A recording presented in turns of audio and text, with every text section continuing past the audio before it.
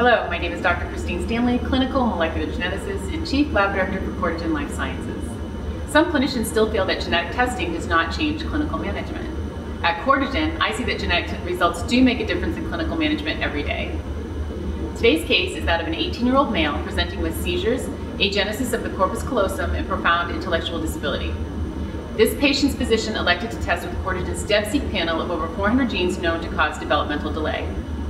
The test identified a pathogenic variant in the BRAF gene, which causes cardiofaciocutaneous syndrome, a disorder characterized by cardiac abnormalities, a distinctive craniofacial appearance, cutaneous abnormalities, and cognitive delays. 75% of patients with CFC have pathogenic changes in the BRAF gene.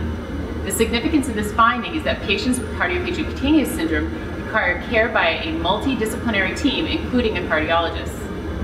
In addition, the recurrence risk for the parents to have additional children with the same disorder is low because the variant arose new in this child.